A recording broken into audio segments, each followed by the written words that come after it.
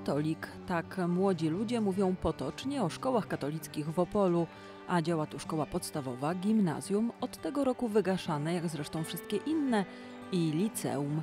Jak wygląda w nich nauka? Jaki model wychowania proponują? Kto do nich uczęszcza? Oblicza wiary w tym odcinku wracają do szkoły. Katarzyna Plewnia, zapraszam na lekcję.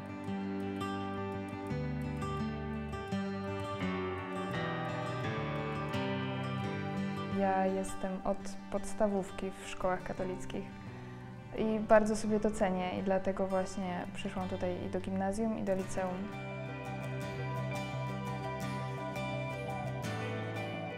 Ten katolicki pierwiastek jest dla nas najważniejszy. Kształcąc wychow- wychowujemy, to jest nasze hasło.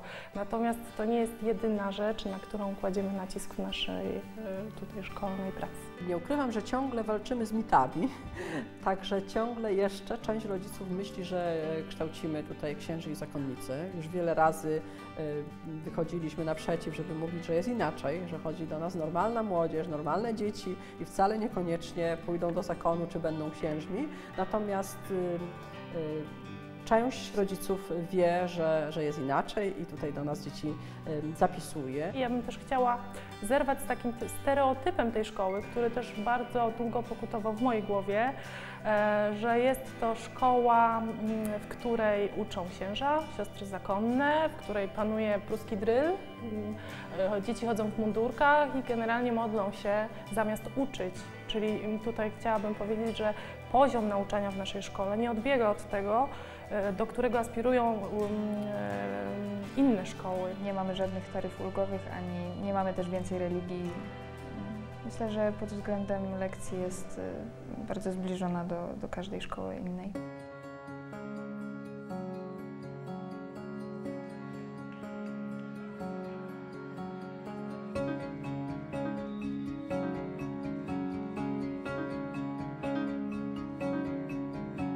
Szkoła podstawowa, oczywiście od tego roku będzie 1,8. Mamy miejsce, więc jak najbardziej przyjmujemy dzieci do klasy pierwszej. E, To tak jak każda inna szkoła podstawowa. No, wygasające e, gimnazjum, które w tym roku już do niego nie będzie naboru oraz e, liceum ogólnokształcące. Na razie liceum jest jednociągowe, ale no, myślę, że z czasem się to poszerzy, bo tych dzieci też mamy coraz więcej. Staramy się uczniów pokazywać na forum Opola. Mogę się pochwalić, wygraliśmy wojewódzki konkurs wiedzy o języku polskim. W, w tamtym roku mieliśmy laureatkę z języka polskiego, w tym roku laureata języka e, niemieckiego. Ci uczniowie są zwolnieni z egzaminu. Na poziomie liceum również staramy się młodzież zachęcać do pracy, rozwijania swoich talentów. Organizujemy warsztaty zarówno wokalne, takie bardziej artystyczne. Działa w szkole zespół muzyczny, działa w szkole grupa teatralna, e, są warsztaty z chemii. Pan z Radio Opole prowadzi warsztaty dziennikarskie. Ja osobiście prowadzę dyskusyjny klub filmowy. Sie hat gefrühstückt, sehr gut. Mhm. Bild Nummer zwei. Welche Uhr ist das? Das ist 11 Uhr. Mhm.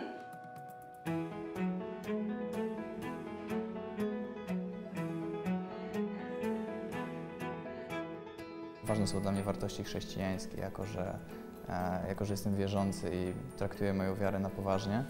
E, I na przykład msza cotygodniowa z możliwością spowiedzi, modlitwa poranna w jakiś sposób umacniają w tej wierze, wierze i pomagają jej się rozwijać. Poza tym usłyszałem, że poziom kształcenia jest w tej szkole bardzo dobry i muszę potwierdzić, że rzeczywiście tak jest. Zresztą jeżeli ktoś chce się uczyć, to w każdej szkole się nauczy, to prawda, ale dzięki temu, że właśnie mamy małe klasy, e, małe klasy, mam na myśli profile, e, na przykład ja jestem na profilu matematyczno-informatyczno-fizycznym i nasz jest na niektórych zajęciach czwórka, na niektórych trójka.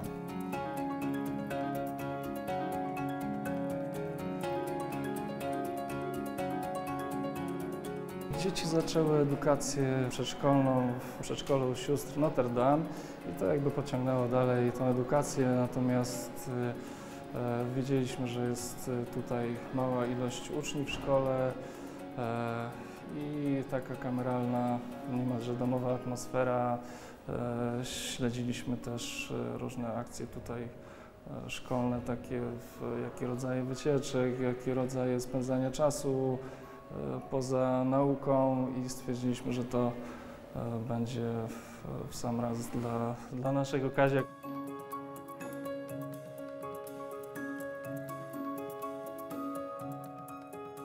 Szkoła podstawowa powstała w Opolu Malinie.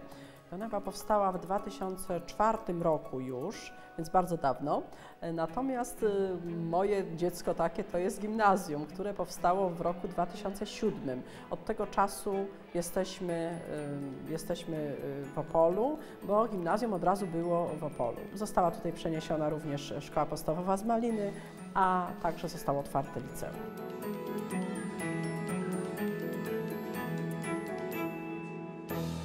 Liceum jest bardzo zżyte z gimnazjum, tak samo z podstawówką. Właśnie y, moim zdaniem to jest taki duży plus połączenia naszych trzech szkół w jednym budynku, bo po prostu nie ma jakichś barier pomiędzy nami.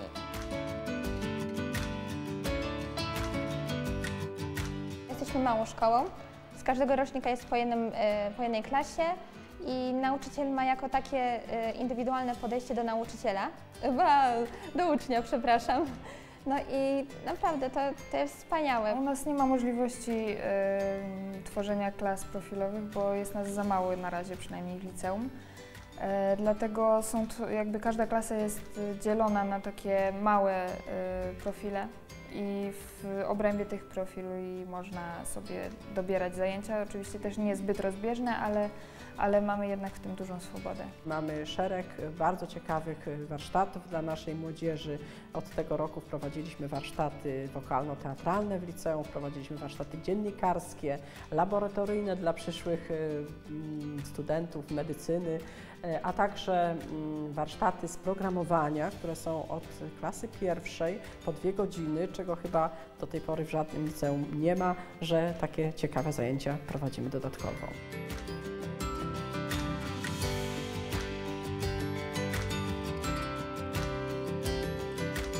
Każdej klasie obecnie, w każdej, od pierwszej szkoły podstawowej do chyba piątej włącznie, mamy jakieś niepełnosprawne dziecko wraz z nauczycielem wspomagającym. Więc właściwie we wszystkich klasach szkoły podstawowej jest po dwóch nauczycieli na lekcji, bo zawsze jest ten nauczyciel y, drugi, który jest dla tego dziecka specjalnie tam postawiony. I y, mówię, mamy dziecko niewidome, mamy dużo dzieci autystycznych, mamy dzieci mm, z upośledzeniem w stopniu lekkim. Dla mnie przede wszystkim cenne jest to, że pracujemy na wartościach i że przede wszystkim kształtujemy w młodych ludziach e, taki moralny kręgosłup. E, Mnie osobiście zależy na tym, żeby nasze dzieci nie miały kompleksów, więc ja bym chciała, żeby potrafiły świadczyć o Chrystusie i o swojej wierze po prostu całym sobą, e, z przeświadczeniem, że to są słuszne wybory, że to są słuszne wartości, że oni w nie wierzą, żeby się absolutnie tego nie wstydzili. E, więc staram się, żeby to były wartości przepracowane, przeżyte, nie takie, które narzucają rodzice w domu, tylko które uczeń po prostu autentycznie sam z siebie wybiera. Jesteśmy otwartą szkołą, bo są to wszystko szkoły publiczne, a do szkół publicznych mogą przyjść wszystkie dzieci, jakie tylko mają na to ochotę. Natomiast y, ponieważ jesteśmy katolicką szkołą, to rodzic zapisując do nas dziecko jest informowany, że y, jeżeli zapisze, to musi zgodzić się na wszystkie praktyki związane z tym, co w naszej szkole się dzieją, a więc jest to codzienna modlitwa poranna oraz y, raz w tygodniu msza święta, tak jak to odbyło się dzisiaj właśnie i rodzic musi to wiedzieć, że tak właśnie u nas jest. Nie chodzą do nas tylko i wyłącznie katolicy. Tworzymy kameralną wspólnotę, w której młodzież ma szansę w takiej atmosferze bezpieczeństwa, wzajemnej życzliwości, po prostu się rozwijać. Tworzymy warunki do tego, żeby mógł poszukiwać, mógł rozmawiać, e, mógł obserwować. Kto wie, Pan Bóg ma swoje drogi, może w kimś obudzi się e, taka myśl, żeby do Pana Boga wrócić, żeby Pana Boga poznać, e, ale trzeba temu dziecku stworzyć taką szansę. Musimy się czymś różnić od każdej innej, nie tylko mm, tym, że mamy w nazwie katolicka, ale no, staramy się, aby nasze dzieci były w taki sposób formowane.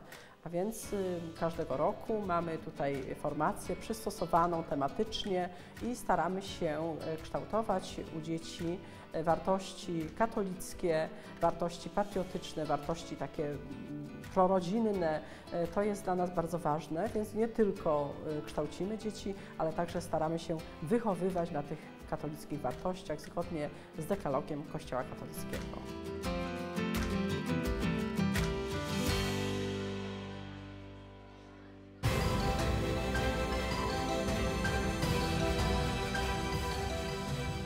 Dziś naszym gościem jest Grzegorz Filipowski, katecheta. Witam serdecznie. Witam serdecznie, dzień dobry. Poopowiadaliśmy troszkę o szkole katolickiej, a w normalnej szkole da się dbać o wychowanie, posyłając dzieci, chcąc, żeby one jednak trochę zostały katolikami. E, to da się to zrobić, czy to jest trudne przedsięwzięcie? Myślę, że jak najbardziej się da, ponieważ e, obecność samej religii w szkole i przedmiotów, e, które pomagają nam, nauczycielom, wesprzeć w wychowaniu rodziców, ich dzieci, ich potomstwa, jak najbardziej służą ku temu, abyśmy mogli wychowywać nasze dzieci, ich dzieci w szkołach. Religia, jej obecność w szkole, e, przez to dobra formacja moralna, etyczna i, i katechetyczna i katolicka jak najbardziej służy ku temu, aby wpajać w młode istoty jakieś dobre zasady. Chociaż zdaje mi się z opowieści uczniów, z którymi czasem się gdzieś tam stykam, że to nie musi być łatwe, bo mm, no, skoro jest to, pan się nie obrazi, Jasne. przedmiot y, nie najważniejszy, nie drugiej kategorii, y, niematuralny, no to y, może niemiecki warto by odrobić, angielski, matematykę, y, więc y, praca katechety jest taka, mam wrażenie, trudniejsza niż na innych przedmiotach. Gdyby myśleć tylko o tej edukacyjnej mhm. Y, wersji. Generalnie katecheta stoi na pierwszej linii frontu w wychowaniu dzieci, którzy, które przychodzą na lekcje religii. To do katechety należą, należą pierwsze pałeczki, które, które w wychowaniu, którymi wychowaniu on steruje tego, tego młodego człowieka. To e, my jako katecheci, jeżeli dobrze zaciekawimy i dobrze poprowadzimy lekcję, to ta lekcja jest ciekawa. E, I wtedy ta lekcja religii nie jest przedmiotem, na którym odrabia się inne przedmioty, na, na którym robi się coś innego niż, niż zajęcia z pogłębienia swojej wiary. Trudno jest to zrobić? Jakich sposobów trzeba się imać, by skupić ich uwagę? Na pewno, e, na pewno jakieś osobiste predyspozycje, czy, czy jakieś zdolność do tego, posiadana zdolność do tego, żeby zaciekawić tą młodzież danym przedmiotem, czy nawet umiejętność, którą też trzeba mieć wrodzoną, e, umiejętność zaciekawienia tego, tych młodych ludzi tym przedmiotem. To bardzo ważna rzecz, bo e, y, pytając niejednokrotnie uczniów swoich, w mojej szkole, e, oni uczą się tego samego przez kilka lat, powtarzając na danych poziomach praktycznie to samo. I teraz trzeba umiejętnie dotrzeć do e, każdego, do ucznia z każdego poziomu edukacyjnego, czy jest to szkoła podstawowa, czy jest to gimnazjum, czy jest to liceum. Trzeba dobrać słowa, do, którymi zaciekawimy opowiadając o Bogu. Nie jest łatwo oczywiście to zrobić, bo, bo inaczej się mówi do gimnazjalistów, inaczej się mówi do licealistów, inaczej daną kwestię, dane zagadnienie przedstawia się osobom, które mają już jakieś pojęcie na temat wiedzy i wiary, i wychowania, i, i bycia jakimś człowiekiem. Natomiast inaczej się mówi do gimnazjalisty, który jest w wieku takim, gdzie jego emocje i, i jego cały świat kręci się wokół zupełnie innych wartości. Podejrzewam, że nawet w tych samych rocznikach, w różnych zespołach klasowych może być to bardzo różne przedsięwzięcie. Oczywiście, to każda klasa jest specyficzna i do klasy klasy trzeba podchodzić indywidualnie. To nie ma złotej reguły, że podchodzimy do pierwszej, do drugiej B, tak samo jak do pierwszej czy do drugiej A. Y, czy często się zdarza, że katecheta, no ale cywil, jest stawiany pod ścianą w ogniu pytań o wywoływanie duchów, y, seks przedmałżeński i nie wiem, co tam jeszcze jest teraz na topie? Ja myślę, że to są bardzo poważne pytania, e, z którymi musi się zmierzyć każdy katecheta i myślę, że każdy wychowawca. Natomiast... Ale zmierzyć w sensie być gotowym, że na pewno tak będzie i to w najmniej tak, dogodnym momencie. Tak, tak, myślę, że tak. Nawet, e, nawet e, wydaje mi się, że jesteśmy powołani do tego, żeby dawać odpowiedzi, bo dzieci przychodzą do nas z takimi pytaniami. Z pytaniami o to, w jaki sposób żyć, jak postępować. Oni podchodzą do kwestii, kwestii wiary od strony praktycznej. Proszę mi powiedzieć, do czego mi się ta rzecz przyda, do czego ta kwestia mi się przyda, co ja mam z tym zrobić w życiu, jak ja mam tą kwestię Boga ugryźć i przy, przy, przenieść na swoje życie. Co ja mam z tym zrobić? Do czego mi się to przyda? Z tej perspektywy. I nad, oni takich pytań oczekują od nas nauczycieli i katechetów. tylko to chyba takie strasznie trudne utylitarnie wytłumaczyć, do czego mi się religia przyda. Młodzież gimnazjalna i młodzież licealna to jest młodzież w wieku y, żądających świadków, świadectwa od swoich nauczycieli katechetów. Powiedz mi, jaka jest Twoja wiara w oparciu o Twoje uczynki. Czyli pokaż mi, jakim Ty jesteś człowiekiem. Czy to, co mówisz, jest przekonujące, bo internet jest zapchany różnymi rzeczami. Natomiast ja chcę od Ciebie, nauczycielu katechezy, chcę usłyszeć i zobaczyć, czy Ty jesteś takim, jakim mówisz. Czy Ty do nas mówisz przekonująco. Czy to, co do nas mówisz, jest na tyle wiarygodne, że jeżeli ja powielę schemat Twój, to on się sprawdzi w moim życiu. Czy to, co mówisz, jest wiarygodne i ja to mogę przetransponować na swoje życie. To super wyzwanie. No, tak to wygląda. Tak to wygląda. Ale to da się w to, bo tak jakby się zastanowić nad tym, co Pan mówi, to Supermanem właściwie trzeba byłoby być i wtedy no, jest to ideał, do którego można zmierzać. Trzeba być wiarygodnym, trzeba być nieświętym, trzeba być normalnym, trzeba być naturalnym, autentycznym. Y, w konfrontacji z młodzieżą, w spotkaniach z młodzieżą nie można udawać, bo to oni to od razu wyczuwają. Im bardziej człowiek jest autentyczny, pozytywnie, no bo to jest przedmiot bardzo pozytywny, tutaj nie możemy mówić o żadnym zafałszowaniu, młodzież to bardzo szybko wyczuwa, więc albo akceptują tę lekcję i jest wtedy komplet uczniów na tej lekcji, albo jest 5-6 osób i ta lekcja odbywa się na zasadzie idę, bo mam większą średnią, albo idę, bo facet fajnie mówi. I to są takie rozróżnienia.